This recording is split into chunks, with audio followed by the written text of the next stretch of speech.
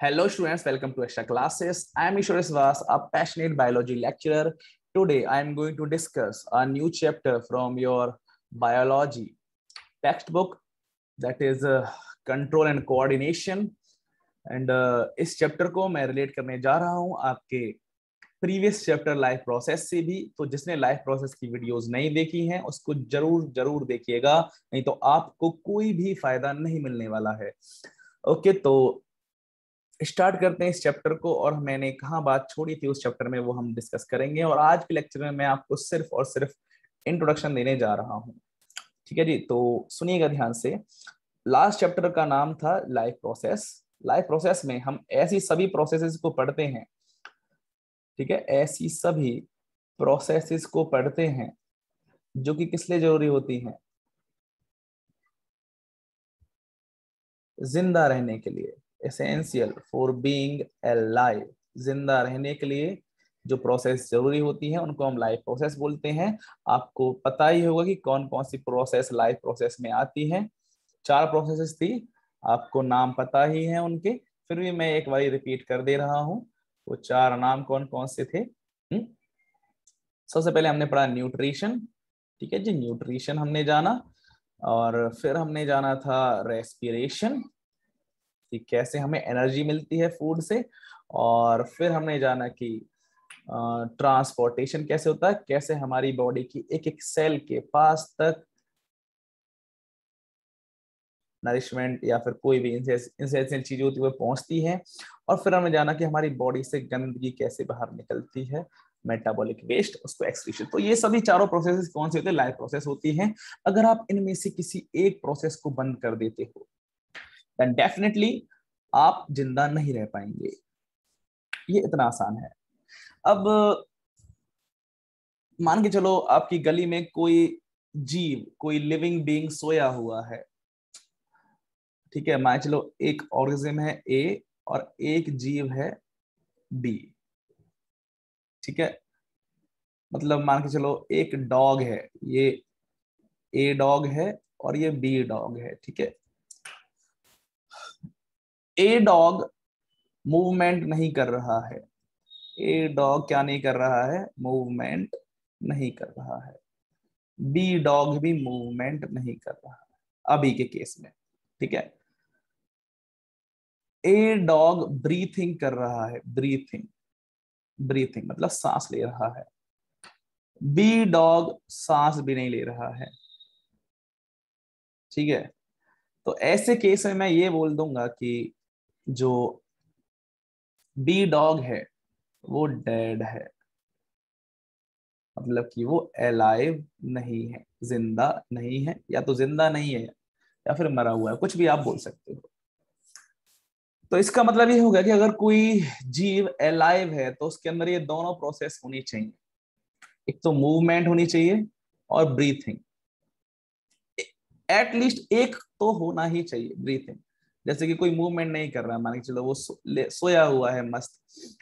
फिर भी उसकी साँसें चली हुई होनी चाहिए तभी हम उसको बोलेंगे अलाइव लेकिन अगर आप नहीं पहचान पा रहे हो कि भाई इसकी सांस चल रही है कि नहीं चल रही अगर आपके दिमाग में एक कंफ्यूजन चल रहा है तो आप क्या करोगे? आप उठा के एक स्टोन या फिर उसमें लात थोड़ा पैर टच करके उसको हिलाओगे। हिलाओगे तो वो तुरंत ही क्या शो कर देगा? तुरंत ही वो मूवमेंट शो करेगा। तुरंत ही वो मूवमेंट शो करेगा। तो अगर वो मूवमेंट शो कर रहा है, तुरंत मूवमेंट शो करेगा, भागेगा आपसे डर के या फिर आपके ऊपर कुछ भी कर सकता है वो तो आप जानते हो, ठीक है। अच्छा मूवमेंट शो करेगा तो इसका मतलब क्या है? वो एलाइव है। आई होप आपको समझ में आएगा अगर कोई चीज़ एलाइव है, उसको हम पहचानते कैसे हैं? एक तो उसके अंदर ब्रीथिंग चलनी चाहिए या फिर उसके अंदर मूवमेंट होनी चाहिए। दोनों ही काम होने चाहिए। ब्रीथिंग तो चलनी ही चाहिए, क्योंकि सांस तो ट्वेंटी फोर आवर चलनी चाहिए, लेकिन मूवमेंट भी। वो हिल डुल रहा है मतलब वो ज़िंदा है। तो यहाँ तक आपको सर में आ गया होगा। इसके बाद आगे बात करते हैं। अब मूवमेंट पे बात मैंने अटका दी यहाँ पे आके। मूवमेंट ठीक है? कि उसकी बॉडी हिल रही है। मूवमेंट पे बात मैंने अटका दी आपकी आप अब देखो मूवमेंट भी दो तरह से होती है। या तो ग्रोथ के रिज़ल्ट में होगी, या फिर as a result of growth नहीं होगी। इससे पहले कि मैं आगे बढ़ूं, आपको ग्रोथ का मीनिंग समझा देता हूँ। ग्रोथ का मतलब होता है इंक्रीज इन साइज़ और मास साइज़ या मास में बढ़ने को हम क्या बोल देंगे? ग्रोथ बोल देंगे। अच्छा जी, फिर ये मास क्या है? सर, हम तो इतने डम में सर, हमें तो मास का मीनिंग भी नहीं पता कि मास क्या होता है। तो देखो मास का मतलब होता है amount of substance amount of substance को मास बोलते हैं। ये डेफिनेशन मैंने आपको साइंटिफिक बताई है। फॉर एग्ज़ाम्पल अगर एक बॉडी इसके अंदर सेल के नंबर ज़्यादा है, इसके अंदर सेल के नंबर मान चलो हंड्रेड है मतलब यहाँ पे सेल का अमाउंट कितना हो गया हंड्रेड और एक बॉडी इसमें सेल का अमाउंट कितना हो गया फिफ्टी हो गया। तो ऑब्वियस सी बात होगी, इसके अंदर अमाउंट ऑफ़ सबस्टांस ज़्यादा है तो इसका मास भी ज़्यादा आएगा और इसका मास जो होगा, वो कम आएगा। इज़ दैट सिंपल अब मास को मैं नहीं पढ़ा रहा हूँ, इस चैप्टर को हमें आगे चलाने दीजिए। अगर आप ज़्यादा कंफ्यूज में हो कंफ्यूजन में हो तो आप लाइव प्रोसेस वाले चैप्टर को देख लीजिए ध्यान से। ओके जी, अब आगे चलते हैं। आई होप आपको यहाँ तक समझ में आएगा मैंने बात जो अटकाई है, वो मूवमेंट पे अटका दी है। अब आगे चलते हैं। मूवमेंट या तो आपकी ग्रोथ की वजह से होगी, या फिर मूवमेंट आपकी ग्रोथ की वजह से नहीं होगी। सर कोई एग्ज़ाम्पल लीजिए ना। तो एग्ज़ाम्पल लीजिए ना। तो देखिए आपने कोई बीज बोया धरती के अंदर, इस बीज में से सीडलिंग्स निकलेंगी। क्या निकलेंगे? सीडलिंग्स। सीडलिंग्स। आप जानते हो, इस प्रोसेस को हम सीड जर्मिनेशन बोलते हैं। सीड से सीडलिंग निकलने के प्रोसेस को हम सीड जर्मिनेशन बोलते हैं। ठीक है जी? सीड से सीड निकलने। ठीक है? अब देखो इसको आप लोग एंकर बोलते हो। अरे भाई, कितना ज्ञान दे देता हूँ। चलो, कोई बात नहीं। अब ये मूवमेंट कॉज बाय ग्रोथ ऐसे सीड से प्लांट बड़ा होगा, होता जाएगा होता जाएगा। इसके आप यहाँ देख सकते हो प्लांट कैसे कैसे बड़ा होता जा रहा है। तो ये जो मूवमेंट हो रही है प्लांट में, ये किसके रिज़ल्ट में हो रही है? ग्रोथ के रिज़ल्ट में। क्योंकि प्लांट धीरे धीरे साइज़ में बढ़ रहा है। आप देख सकते हैं। हुँ? हम्म? और कुछ मूवमेंट ऐसी होती है, वो ग्रोथ के रिज़ल्ट में नहीं होती है। जैसे कि ये। दौड़ रही है आपके सामने। टॉम टॉम बोल दो, ऑगी बोल दो, या फिर आप जो नाम इसको देना चाहो, वो दे सकते हो। हालाँकि इसको कैट बोलते हैं, अगर आपको पता ना हो तो। ठीक है ना? इसको क्या बोलते हैं? कैट बोलते हैं। ठीक है जी, आगे चलते हैं। अच्छा ऐसी और भी मूवमेंट है जो ग्रोथ की वजह से नहीं होती है, जैसे कि चिल्ड्रन झूला झूलते हैं, बच्चे जब झूला झूलते हैं, वो ग्रोथ की वजह से तो नहीं होता है।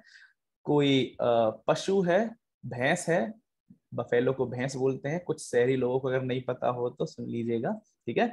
वो अपने चारे को चबा रही होती है, जो उसका फ़ूड होता है, उसको जब वो चबाती है तो वो ग्रोथ का रिज़ल्ट नहीं है, ठीक है ना? वो ग्रोथ की वजह से नहीं हो रहा है।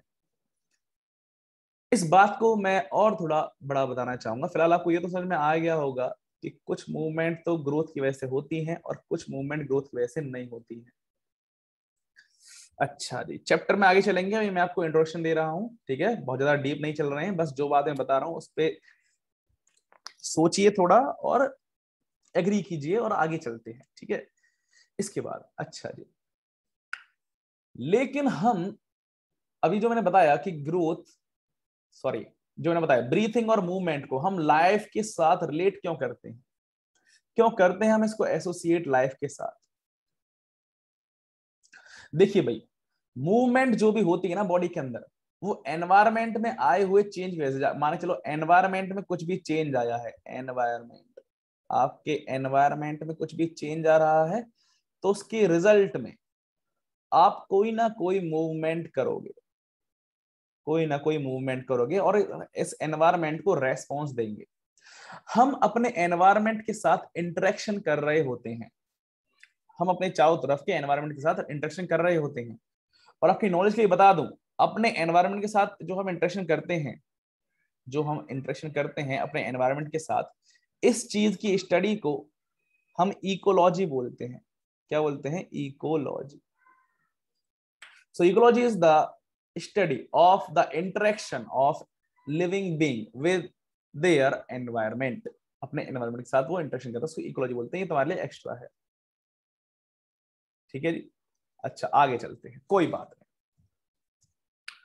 तो अभी मैंने बताया कि जो हम मूवमेंट करते हैं, वो एनवायरमेंट में आए हुए चेंज की वजह से करते हैं।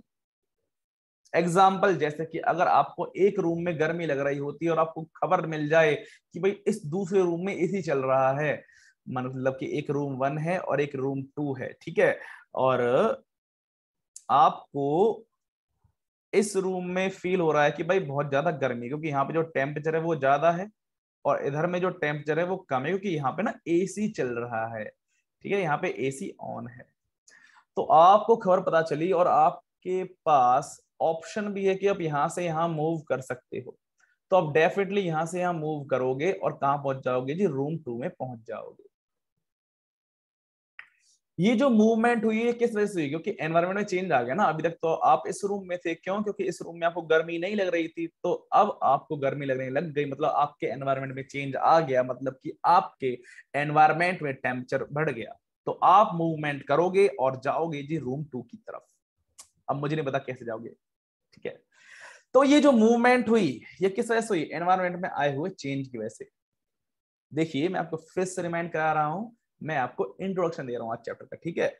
क्योंकि अगर मैंने आपको इस चैप्टर के रिगार्डिंग इंटरेस्ट पैदा नहीं किया और सीधा रटना, रटाने पे ध्यान दिलवा दिया कि ये न्यूरॉन होता है, ये ब्रेन होता है, इसके इतने हिस्से होते हैं, ये ये काम करता है, वो करता है तो मज़ा नहीं आएगा। हमें चाहिए मज़ा, ठीक है? हमें चाहिए इंटरेस्ट ठीक है जी? अच्छा तो आपको यहाँ तक तो पता चल गया होगा कि हम लोग मूवमेंट क्यों करते हैं, ठीक है?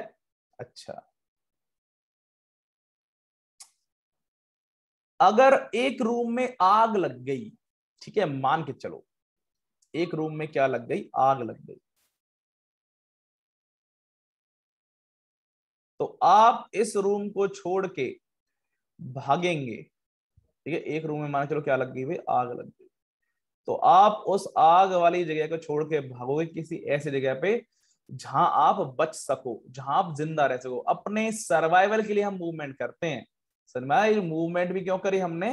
अपने सर्वाइवल के लिए, जिससे कि हम क्या कर पाए? सर्वाइव कर पाए। और जब हम सर्वाइव कर पाएँगे, तभी तो हम अलाइव रह पाएँगे, तभी तो हम ज़िंदा रह पाएँगे भाई। तो इसीलिए मैंने मूवमेंट को जोड़ा है किससे? लाइफ से। ठीक है ना? तो मूवमेंट को हम इसीलिए एसोसिएट करते हैं लाइफ से।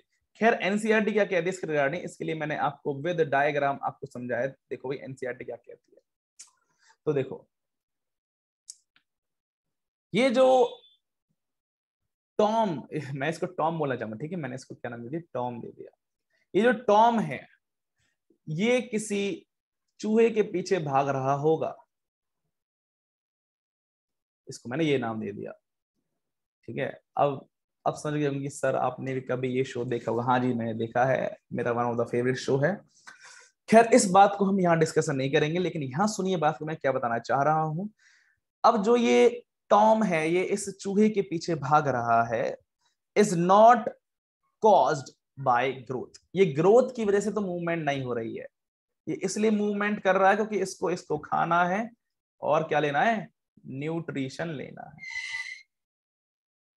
तो इसको एनवायरमेंट में जब चूहा दिखेगा, जैसे ही इस कैट को अपने एनवायरमेंट में कोई रेड दिख जाएगा मतलब एनवायरमेंट में चेंज आ गया तो इसने क्या शो करी? मूवमेंट शो करी। ठीक है? ये एक सिंपल सा एग्जांपल दे रहा हूँ अभी मैं आपको। क्लियर है? अच्छा।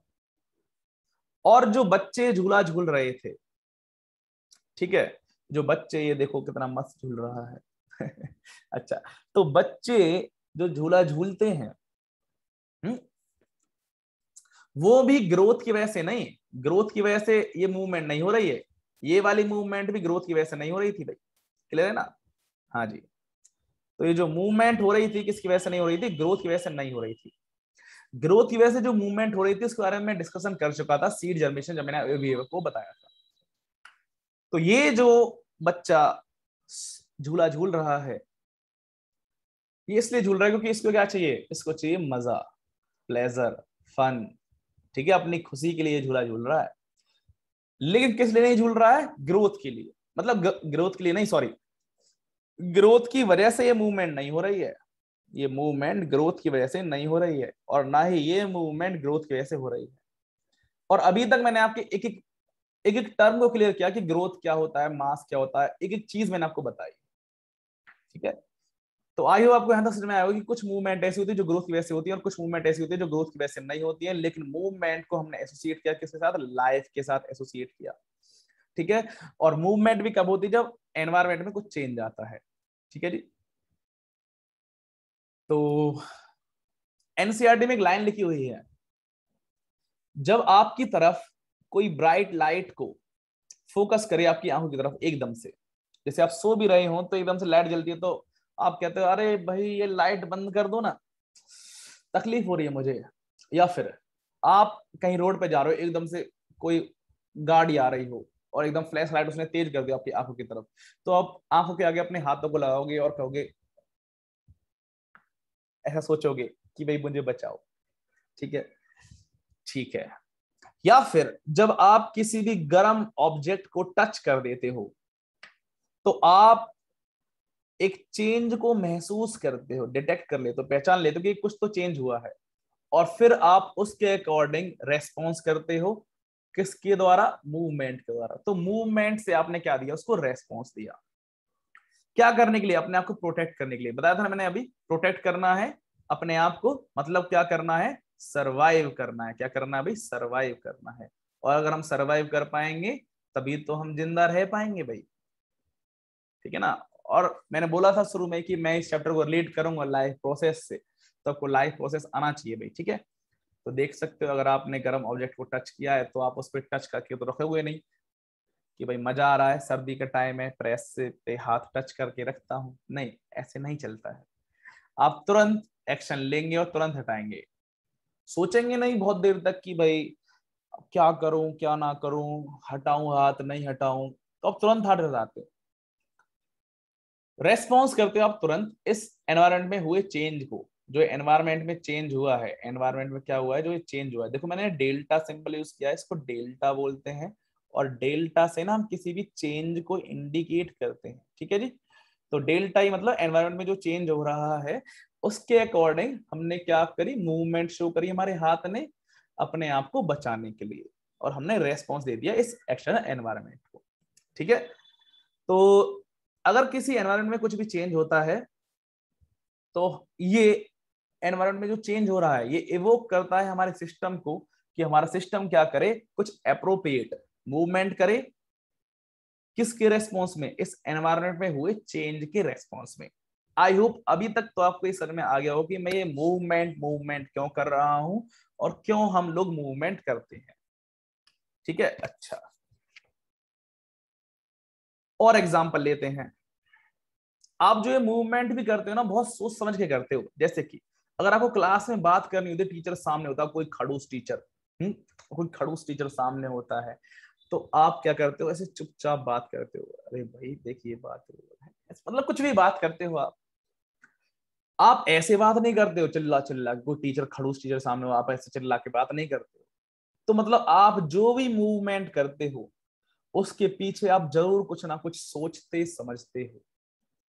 एनवायरमेंट के हिसाब से, अभी मैंने बोला ना अप्रोप्रिएट आप एक्शन ले तो देखो अभी भी मैंने बताया था बताया था ना अप्रोप्रिएट मूवमेंट करते हैं हम। अप्रोप्रिएट में ही बहुत चीज़ें छुपी हुई हैं। अप्रोप्रिएट मतलब हम सोचते हैं इसके बारे में। सोचते हैं कि हमें करना चाहिए कि नहीं करना चाहिए। ठीक है? तो अभी तक मैं यहाँ पे था। कि हम ऐसे चिल्ला के तो बात करेंगे नहीं, हम कैसे बात करेंगे, ऐसे बात करेंगे, चुपचाप, ठीक है?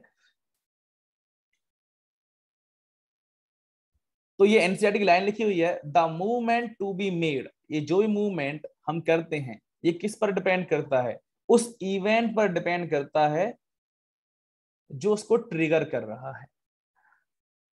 आप डीजे पर नाचते होंगे सभी। डीजे पर नाचते हो तो दूसरी तरफ़ स्पीकर्स रखे हुए होते हैं। बड़े बड़े स्पीकर्स रखे हुए होते हैं भाई। ठीक है? स्पीकर्स रखे हुए होते हैं ना? बड़े बड़े इस टाइम पर अगर आपको अपने दोस्त से बात करनी है, किससे बात करनी है? अगर इस टाइम पर अभी आपको, यहाँ आप खड़े हो, ठीक है? और आपको अपने दोस्त से बात करनी है तो आप चिल्ला चिल्ला के बात करोगे। क्योंकि यहाँ एनवायरमेंट अलग है। इधर में एनवायरमेंट अलग है। और जो ये मैंने एनवायरमेंट बताया, ये एनवायरमेंट बताया मैंने क्लासरूम का, ये है एनवायरमेंट वन जो कि मैंने बताया क्लासरूम का। तो क्लासरूम में आप चिल्ला के बात नहीं करते हो, अगर कोई खड़ूस टीचर सामने होता है, आप ऐसे बात नहीं करते हो, आप ऐसे बात करते हो। तो इससे ये पता चल रहा है कि हम जो भी मूवमेंट लेते हैं, ये इस पर डिपेंड करता है कि उस टाइम का इवेंट क्या चल रहा है इवेंट क्या चल रहा है, ठीक है? इवेंट पर डिपेंड करती है बात। तो फिर सभी लिविंग ऑर्गेनिज्म को कुछ ना कुछ ऐसे सिस्टम की तो ज़रूरत पड़ेगी, जो इस मूवमेंट पर क्या करे, कंट्रोल करे और हमारे सभी ऑर्गन को कोऑर्डिनेशन में रखे। इसी के साथ हमारा इंट्रोडक्शन खत्म होता है। आई होप आपने समझा होगा कि हमें इस नर्वस सिस्टम की, जो मैं आपको अभी आगे पढ़ाऊँगा ठीक है? इस नर्वस सिस्टम की ज़रूरत क्यों पड़ती है लिविंग बींग्स को? क्योंकि हमें अपनी मूवमेंट को कंट्रोल करना होता है, ठीक है? आई होप मैंने जो ये इंटरेस्ट क्रिएट किया है इस चैप्टर में, वो आपको पसंद आया होगा। और नेक्स्ट लेक्चर आएगा, पूरा मैं एक बारी में कंप्लीट करा दूँगा एनिमल का नर्वस सिस्टम ठीक है? फिर उसके बाद एक वीडियो और आएगी। देखो, पहले, ये था लेक्चर वन जिसमें मैंने क्या दिया? आपको इंट्रोडक्शन दिया। इसके बाद आएगा लेक्चर टू हालाँकि मेरे लेक्चर्स थोड़े बड़े होते हैं, ये तो लेक्चर लगभग मेरे हिसाब से पहुँच गया होगा क्योंकि मैं ना ये लेक्चर लाइव बना रहा हूँ। लगभग फोर्टी मिनट का ही पहुँच गया होगा। अगर उससे कम हुआ तो आप खुश हो जाइएगा, ठीक है? हम्म। लेक्चर टू में दूँगा पूरा नर्वस सिस्टम एनिमल का, ठीक है? पूरा नर्वस सिस्टम एनिमल का। ठीक है पूरे एनिमल का जो नर्वस सिस्टम है, उसके बारे में बताऊँ। लेक्चर थ्री आएगा प्लांट्स के अंदर कैसे कंट्रोल होता है? मतलब प्लांट्स के अंदर नर्वस सिस्टम नहीं होता है, प्लांट्स के अंदर हार्मोन का सिस्टम होता है। ठीक है ना? तो हार्मोन्स हम पढ़ेंगे, प्लांट के अंदर कौन कौन से हार्मोन्स होते हैं, और फिर लेक्चर फोर में पढ़ेंगे हम, एनिमल्स के अंदर कौन कौन से हॉर्मोन्स होते हैं। तो ये चार लेक्चर में ये मैं खत्म कर दूँगा, ये चैप्टर ठीक है?